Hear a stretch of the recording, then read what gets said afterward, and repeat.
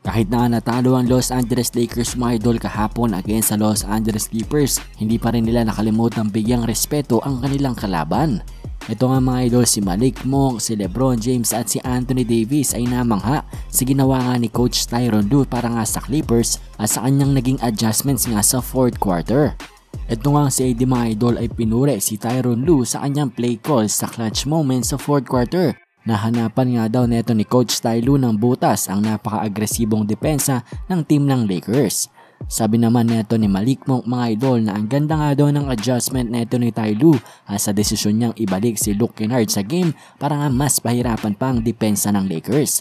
Para naman kay Lebron mga idol, sinabi niya nga sa kanyang former head coach na ito nga daw si Tyron Lue ay wala nga daw weakness bilang isang coach. Magaling nga daw siya sa lahat ng parte ng coaching.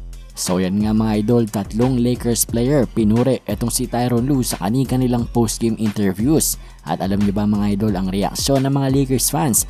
Sinabi nga nila na inutakan nga lang daw na ito ni Coach Tyron Lue si Coach Frank Vogel.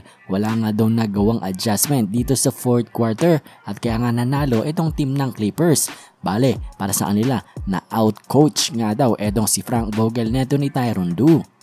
Pero anyways nga mga idol na mangha itong si Lebron, si Davis at pati na rin si Malik Monk sa galingan ng pag-coach neto ni Tyron Lue sa kanyang team. At sa ating susunod na balita naman mga idol, eto nga ang Golden State Warriors at Indiana Pacers. Maroon niyang trade idea na ibinigay sa kanila ang isang NBA insider.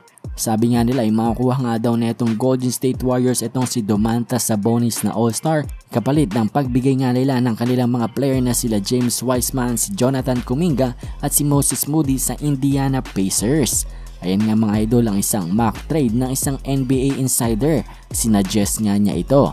Pero mga idol, isang sigurado dito sa trade na ito hindi ito gagawin ng team ng Golden State Warriors kahit na makakuha pa sila ng all-star player na si Sabonis.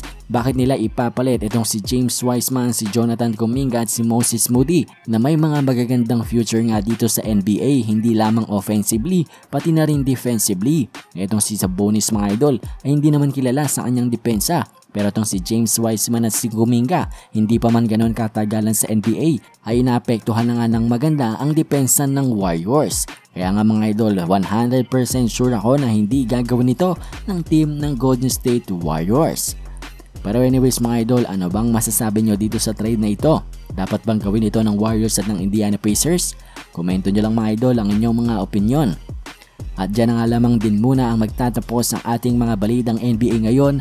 Maraming ang salamat sa inyong panonood. Bye!